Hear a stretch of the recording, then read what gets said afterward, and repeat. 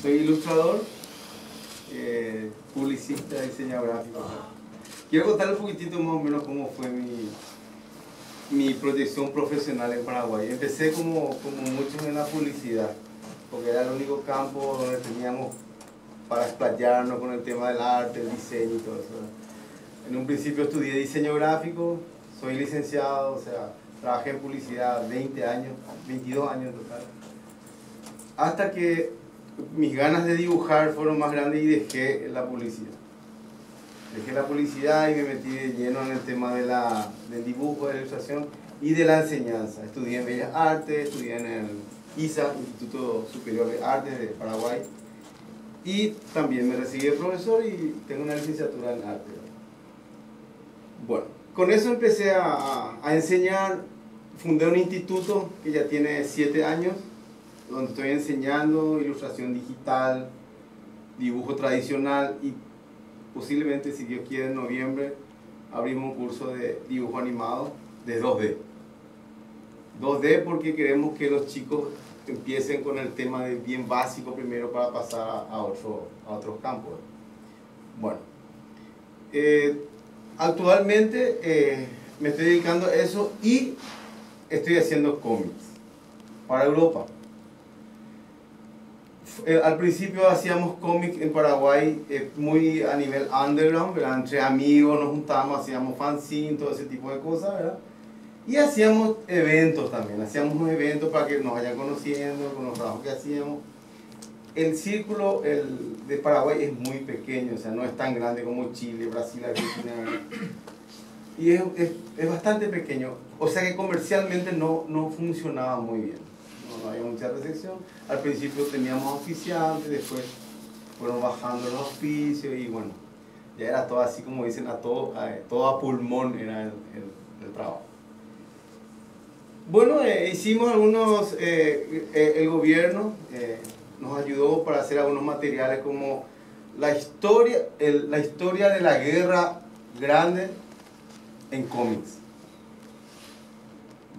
Perdón, primero fue la fundación de Asunción en formato de cómics, ¿verdad?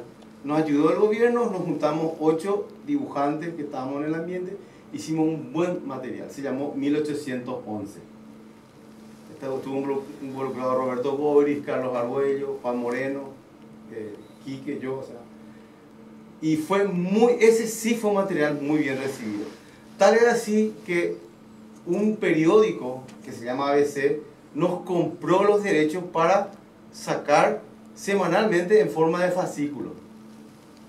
Y eso, hizo que se crea un poco más de, de entusiasmo en los jóvenes, ¿verdad? Que, que, creían ya perdido el cómic, o sea que ya prácticamente, eso, eso pasó en, en, el 2010, imagínense, hace poquito nomás. Desde 2010 esta parte evolucionó muchísimo eso. Después sacamos, como, como resultó bastante bien, sacamos la historia de la, triple, de la Triple Alianza. Una, una una parte de la historia muy oscura, ¿verdad? Donde hubo guerra contra Brasil, Uruguay, Argentina y Paraguay ahí involucrados. Y eh, increíblemente, o sea, increíble digo porque fue un material mucho más ambicioso, más grande, más lujoso, ¿verdad? Tapa dura, unas cosas así. Y resultó bien otra vez, o sea, la gente tuvo otra vez ese, esa receptividad y, y cada vez iba creciendo más, iba creciendo más, ¿verdad? a tal punto que tuvimos que hacer una segunda parte de la historia de la guerra del Chaco, por la gente nos pedía. Pero esta vez hicimos en colaboración con artistas bolivianos, porque la guerra del Chaco fue entre Bolivia y Paraguay, ¿verdad? Entonces pedimos colaboraciones de los artistas eh, bolivianos y nos juntamos, hicimos un excelente material, muy bueno. Como, como diría un amigo, de colección, dice un amigo mío.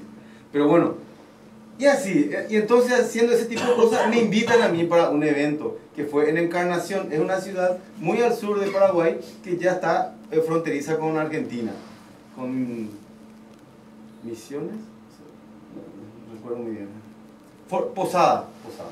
Bueno, y en ese evento, ustedes conocen a Robin Wood, ¿alguien escuchó ese nombre, verdad? Bueno, Es, un, es, un, es uno de los guionistas más prestigioso, sinceramente, por lo menos en, en, la, Latinoamérica, ¿verdad? España y ahora también Europa, ¿verdad?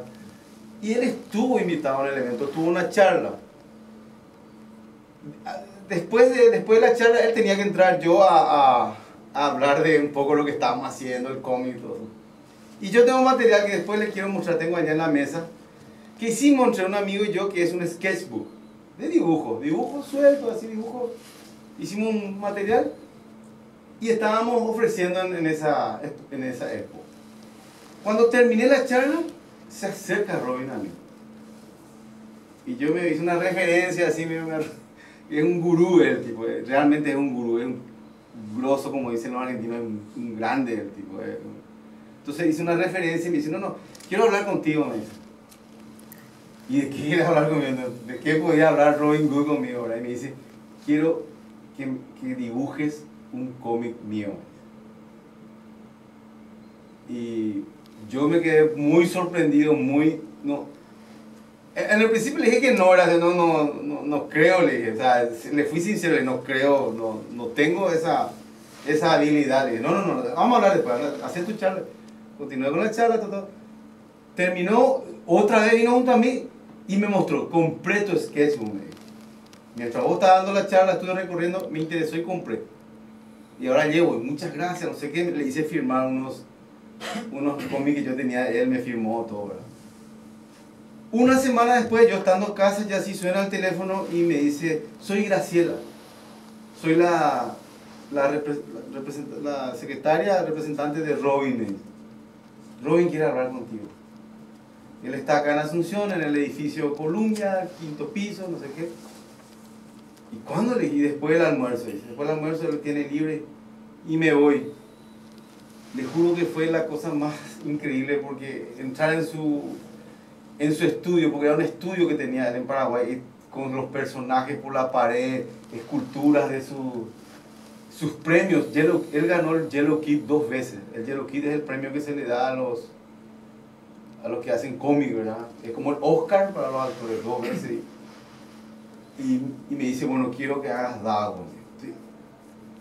Entonces le digo, me animo a hacer, pero Dago, Dago es un personaje muy, muy representativo en, en Europa, en, en Europa y en Argentina, ¿verdad? Un, un personaje muy